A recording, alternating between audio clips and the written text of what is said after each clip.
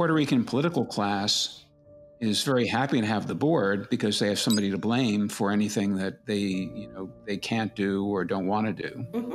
What's, you know, this is this is like an impossible puzzle of, you know, institutional imperatives mm-hmm. that, you know, people just, you know, are never going to want to change and never going to want to solve the problem of Puerto Rico's access to capital markets.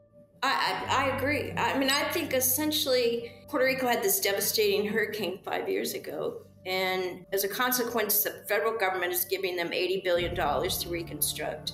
And then COVID came, and Puerto Rico and all the states, of course, got this big um, slug of money, cash. So they don't need market access. I mean, really, like when you look at it in terms of need for, you know, capex, they don't have a need, which means they won't be able to demonstrate they have market access.